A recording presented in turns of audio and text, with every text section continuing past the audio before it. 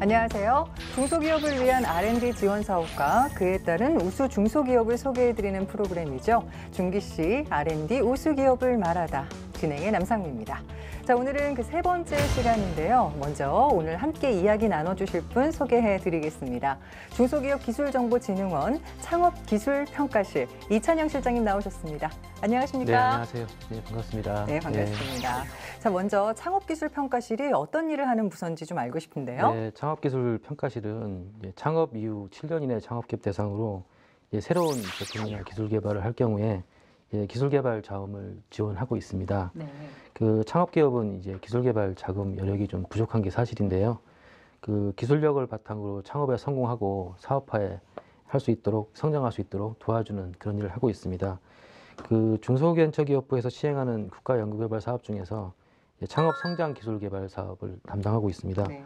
그리고 기술 개발 과제를 신청하면 저희가 접수하고 평가하고 기업을 선정한 다음에 연구비를 지원하는 일을 하고 있습니다. 네, 아주 중요한 일을 하고 계시는군요. 자, 그렇다면은 창업기술 평가실의 핵심 사업부터 좀 짚어볼까요? 예, 저희 부서 핵심 사업은 말씀드린 대로 창업 성장 기술 개발 사업으로요. 유형별로 한 네 가지 세부 사업들이 있습니다. 네. 우선 첫 번째로 일반 창업 기업들이 원하는 기술 개발 과제를 신청을 하면 기술 개발 분야 제한 없이 지원하는 디딤돌 창업 과제가 있고요. 두 번째는 그 4차 산업혁명 등의 이제 높은 수준의 유망 기술 분야를 수행, 수행하는 창업 기업들의 기술 개발 과제를 지원하는 혁신형 창업 과제가 있고요. 이제 세 번째로 혁신 성장 기술 분야에 있는 창업 기업 중에서 이 진출이 쉽고 성과 창출이 유리한 분야를 지원해주는 선도형 창업 과제가 있고요.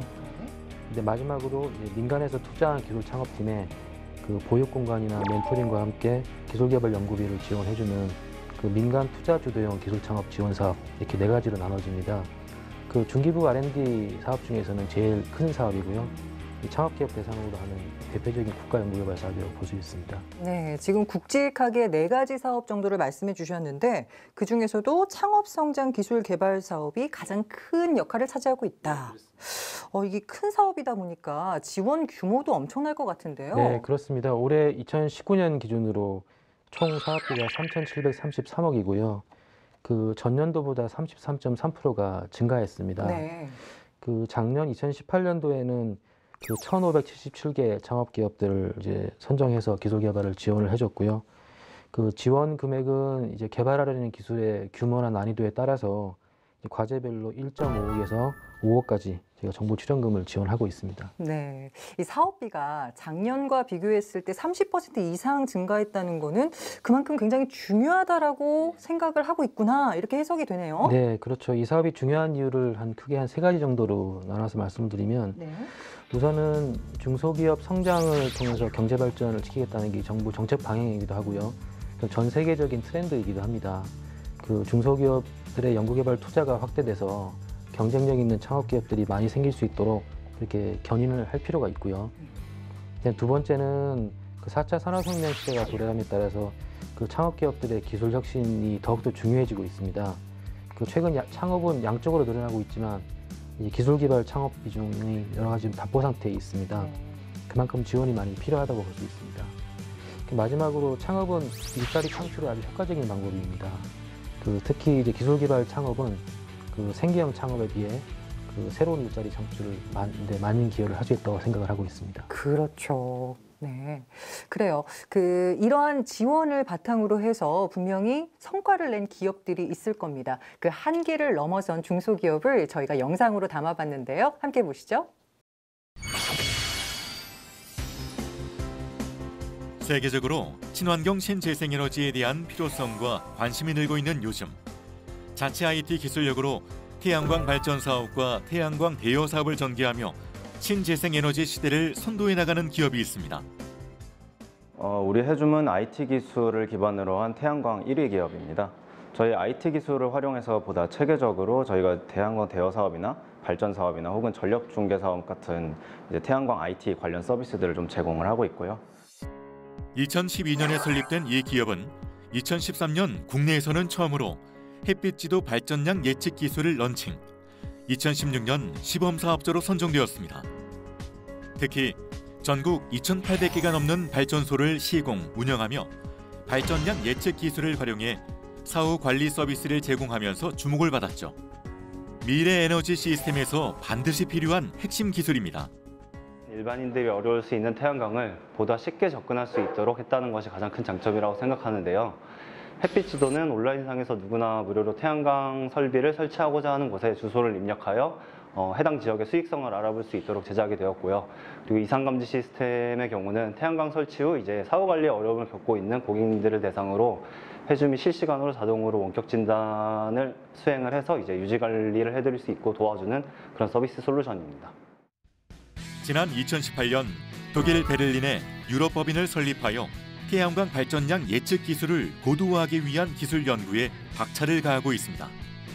특히 2015년부터 현재까지 에너지 소외계층을 대상으로 6차례 태양광을 무료로 설치하는 등 사회공헌 활동에도 적극적인데요. 창업 7년 만에 이토록 혁신적인 기업으로 성장할 수 있었던 힘은 어디에 있을까요? 어, 많은 회사들이 그렇겠지만 창업 초기에는 기술 개발이 필요한데도 불구하고 자금이 부족합니다. 근데 저희 같은 경우에는 창업 성장 기술 개발 사업이라는 사업에 어, 지원을 받아서 시작을 했고요. 어, 그리고 관련 기술을 고도화하는 과정에서 저희가 지속적으로 관련 과제를 참여하게 되었습니다. 이 기업은 2014년부터 2016년까지 산학연 협력 기술 개발 사업 등 총 세 분야의 R&D 지원 사업에 참여했습니다. 결과는 대성공. 해당 사업을 통해서 저희는 회사의 핵심 기술인 태양광 발전량 예측 기술을 개발했습니다. 해당 기술 자체는 해줌의 모든 서비스의 근간이 되는 기술로 사용을 하고 있고요. 특히 햇빛 지도라는 서비스 같은 경우에는 주소만 입력을 하면 태양광의 발전량과 사업성을 판단할 수 있는 해줌을 알리는 데 큰 도움이 되는 서비스로 자리매김을 하였습니다. 성과는 놀라웠습니다. 단순 설치가 아닌 IT 융합 기술로 4년 연속 태양광 대여 사업 시장 점유율 1위를 달성했습니다. 그뿐만이 아닙니다. 또 저희는 이제 직급에 상관없이 자유롭게 의견 같은 걸 내고 듣고 이제 실행함으로써 이제 우리 모두가 함께 회사와 함께 성장해 나가는 그리고 그것을 위해서 노력하는 점이 가장 큰 특징이고 또 장점이라고 생각합니다. 린 원칙을 바탕으로 하는 이 기업 특유의 수평적이고 유연한 조직 문화는 직원들의 사기를 대폭 끌어올렸고 현장의 목소리를 직접적으로 들을 수 있는 계기가 되었죠. 네, 중소기업이 대기업 또는 세계 우수기업과 경쟁하더라도 이길 수 있는 차별성이나 핵심 기술이나 서비스를 가지기 위한 R&D 자금 지원이나 컨설팅을 계속 지원해 주셨으면 좋겠습니다. 누구도 생각하지 못했던 재생에너지와 IT 기술의 결합. 그 대담한 도전이 밝고 깨끗한 미래 에너지를 약속합니다. 네, 저희는 어, 기존의 태양광 회사로 출발을 했지만 앞으로는 에너지 회사로 확대해 나가면서 클린 에너지에 대한 정확한 정보를 제공하고 관련된 좋은 서비스를 제공해서 이 클린 에너지가 확산하는데 지속적으로 기여하고자 합니다.